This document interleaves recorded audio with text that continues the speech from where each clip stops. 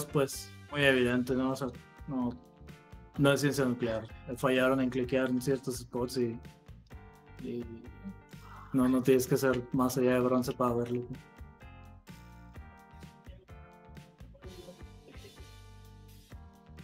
Buenísimo. Sigue Miguel Méndez de, de Código eSport. Hola, hola, ¿se me escucha bien? Sí, todo bien.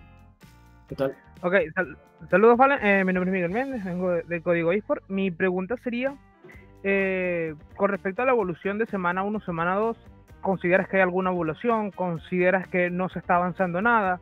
¿Consideras que los errores son repetitivos? O sea, me gustaría conocer un poco eh, tu opinión en ese sentido sí se está avanzando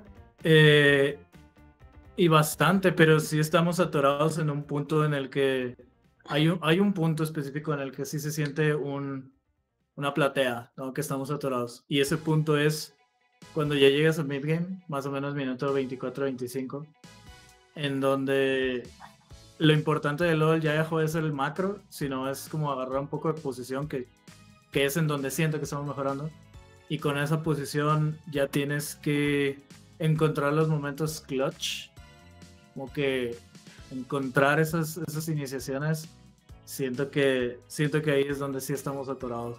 Pienso que ahora que está jugando Dimitri nos, nos otorgó una nueva dimensión al equipo eh, en la que podemos proponer en el juego temprano. Se ha visto como incluso ayer contra esto lo que pudimos sacar como primeras sangres un poco más propositivo el early, tal vez incluso un poco más caótico, o sea, no todo es para bien siempre, pero sí más propositivo, pero sí siento que estamos muy atorados en ese punto de, del mid game cuando las condiciones están. Nos pasó, ya, ya van dos veces, nos pasó contra R7 el juego 2, nos acaba de pasar hoy, nos pasó contra Leviatán, que simplemente no, no se da ese siguiente paso. Perfecto. Sigue Estudian de KS. Claro, muchas gracias. Hola, muy buenas tardes. Mi nombre es Jan de KS Latam. Mi pregunta es, ¿qué factor llevó a que Dimitri se pusiera como el titular en estos últimos dos partidos? Mm, creo que dos cosas importantes para que entrara Dimitri es, eh, obviamente, durante las semanas practicamos eh, más con Mir y pues obviamente probamos a Dimitri y sí nos dimos cuenta que en un tema de, ser propositivos, como de accionar en el mapa, Dimitri simplemente lo encuentra más, es, muchísimo más su playstyle, mientras que Mir es un poco más eh, centrado en, en macro, en rotaciones y creo que ofrece ángulos diferentes, pero eso agrega probabilidad de ganar para, para, el resto de jugadores que tenemos en la plantilla, ¿no?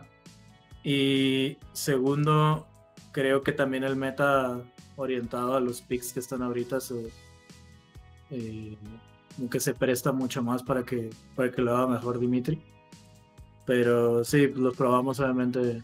Vamos, cuando el equipo está en la situación en la que está, sí, sí pruebas varias cosas, ¿no? No, no a lo random pero definitivamente nos, nos ha agregado una nueva, como que una nueva manera pues de llegar a, a puntos del juego en los que antes no llegábamos. Entonces por eso ahora Dimitri está jugando. Muchas gracias. De nada. ¿Sigues tú, Fusa?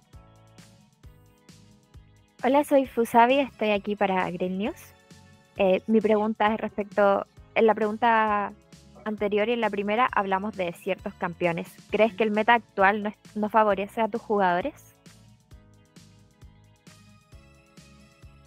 No lo diría así. Eh, siento que es más como que los champions, los champions que se están jugando ahorita en el meta, eh, de entrada, pues el Corki Tristana es un tema y sus respuestas de sus variaciones con LeBlanc, como que fomentan un juego más agresivo a la de Mid Fungla que por lo menos no se estaba dando con Mir.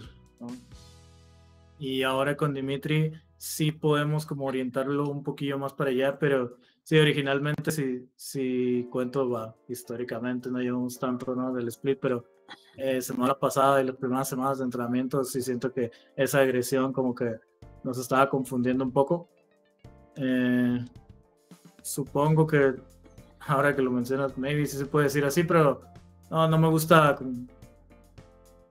que sea eso, pues simplemente sí se nos da, de hecho lo piqueamos, o sea, se están viendo los resultados, hoy piqueamos un pique, nadie había piqueado que era el Milio, pero simplemente era perfecto, o sea, tiene el Maokai y Leona y, y ahorita que está entrando el Maokai a meta, que está broken, entonces como que lo que sí siento es que está rotando muy rápido el meta, como que en un momento era Tristana Hot Pick, GG, era Winner Lose o Van. Después entró el Corki, sacaron este deal de, penetración. Y tres días después entró la LeBlanc, con 70% de win rate en, China y en Corea. Y como que muy rápido, ¿no? Antes tardaba de que un parche, parche y medio en cambiar. Y ahorita, ahorita el Maokai es Hot Pick. Y al entrar Maokai es Yuani. Entonces, no son tanto los picks, sino lo que diría es maybe la velocidad a la que están entrando estos picks es lo que no nos favorece. Munición, sigue Jonah de Prensa Esports. Hola Fallen, ¿cómo estás? Acá Jonah de Prensa Esports. Eh,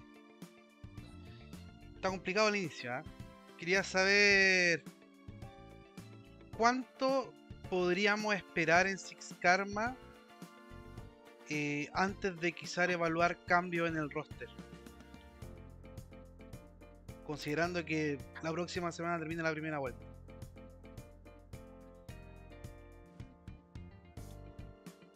Te lo digo conciso, una semana. Perfecto, gracias. Eh, Facundo, ¿sigues tú tu, la última pregunta? Recién mencionaste el tema de, de que directamente la, la curva en la que está cambiando el meta es demasiado rápida. Sentí que eso a vos y, y a Yeti como coach les está costando el tema de readaptar todo, todo lo que ya tienen planeado? No creo, de hecho, eh, como Yeti y yo siempre nos hemos complementado mucho en ese lado porque Yeti es muy bueno planeando las cosas y como que estructurando y fortaleciendo lo que ya está fundamentalmente muy, muy escrito en el LOL, muy fuerte. Y yo siento que soy excelente adaptándome justamente en adaptaciones a estas nuevas ondas, ¿no? Eh, había mencionado justo lo del Maokai antes de que jugara, había mencionado lo del LeBlanc, como pues, no estaba tan fuerte, ¿no? Pero al final sí no hemos encontrado la manera de plasmar estas prioridades en, el equipo al grado de que se jueguen al nivel que necesitamos que se jueguen, ¿no? Creo que los players tienen la capacidad de jugarlo, ¿no? Pero sí, sí nos hemos encontrado en un problema más que de identificación, de implementación, si lo quieres decir. Ah, hay veces que sí, en otros splits te equivocas al leer el meta, básicamente es eso. Este no ha sido el caso. Nos hemos equivocado al priorizarlo. Buenísimo, sigue Miguel de Código Discord. Eh, justamente mencionabas este el tema de que les estaba costando como, como que aplicarlo. Entonces me gustaría conocer si planean tanto eh, tú como Yeti un cambio de plan de trabajo para la semana que viene. ¿Consideras que es necesario? ¿Consideras que el plan de trabajo que están haciendo eh, es eficiente y solo faltaría lo que mencionabas de ejecución? Sí, no, definitivamente lo suficientemente objetivos y, y humildes para entender que lo que sé que estamos haciendo no está funcionando. No, esto aplica para todos, del lado players, del lado staff, incluso del lado organización. Eh, entonces definitivamente, o sea, tiene que haber, tiene que haber cambios, eh, va a haber cambios, eh, pero en un tema específico del plan de trabajo, sí, sí considero que lo bueno y lo malo del LOL es que cada, pues cada semana vas contra un rival diferente, ¿no? La misma estrategia no te sirve contra diferentes teams y el siguiente, el siguiente fin vamos contra Infinity, que más o menos son los que se adaptan más a nuestro estilo de juego. No pienso que sean los peores, pero, pero pues hay algo preparado que como que pensábamos que va a funcionar y, y, sí tenemos que cambiar algo en, cómo lo hemos venido haciendo. Gracias. Sigue Dian. Claro, muchas gracias. Una pregunta, y esto es directamente por parte de la fanaticada que están muy desconcertados por el rendimiento que ha dado Six Karma. ¿Qué propuesta les vendrías ofreciendo en este momento a los fans que están sin entender qué está pasando con Six Karma? Eh, obviamente, como lo mencioné, o sea, va a haber cambios estructurales, pero siento que no sé si es como directamente a los fans. A los fans no les mencionaría nada técnico. Lo único que les puedo decir es eh, pues agradecerles por el apoyo y, y, entender que esta situación no es lo que quieren, nada, ¿no? Entonces simplemente es seguir. Yo creo que la manera en la que más le puedo agradecer o respetar a los fans y todos nosotros acá es trabajando el doble de lo que lo venimos, venimos haciendo y es, es la promesa que les puedo entregar. Gracias. ¿Sigues tú, Fusa? Ok. Eh, teniendo en cuenta el tiempo que llevan practicando, a comparación del resto de los equipos, ¿crees que Six Karma aún tiene ese tiempo e índice de mejora o ya se están quedando atrás en la liga? Mm.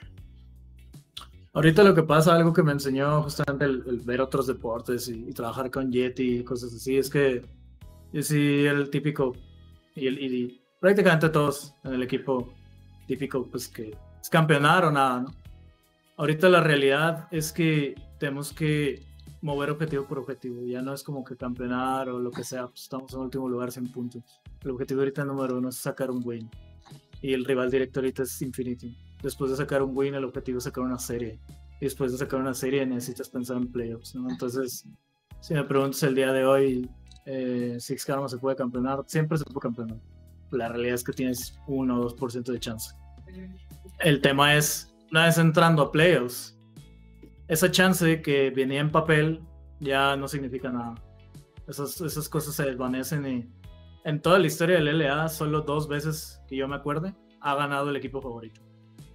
Entonces, digo, en playoffs todo puede pasar.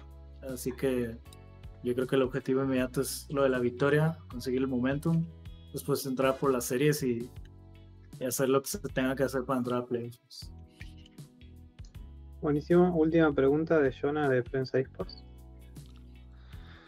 Em, creo que cuando conversé con Seiya me había dicho que ustedes habían sido de los primeros equipos en comenzar a entrenar, si no me equivoco, relación, digamos, a los rivales. Eh, ¿Por qué, está más allá de los resultados, como porque un equipo que lleva supuestamente más tiempo entrenando que el resto de las organizaciones de la competencia está teniendo peores resultados que ellos? ¿Cuál es tu diagnóstico respecto de eso?